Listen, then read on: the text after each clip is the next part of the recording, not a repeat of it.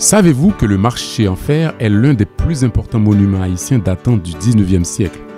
Connu sous différents noms, marché Hippolyte, marché Valière ou encore marché en bas, il est inauguré en 1891 sous la présidence de Florville Hippolyte. Le marché est constitué d'une structure en métal fabriquée à Paris. Il a tenu pendant plus d'un siècle malgré le manque de rénovation. Incendié en 2008, puis abandonné par l'État haïtien, il sera complètement détruit au cours du séisme de 2010. Reconstruit un an plus tard, le marché sera à nouveau détruit par le feu en 2018. Pendant longtemps, ce marché public a été un incontournable pour les touristes de passage à Port-au-Prince.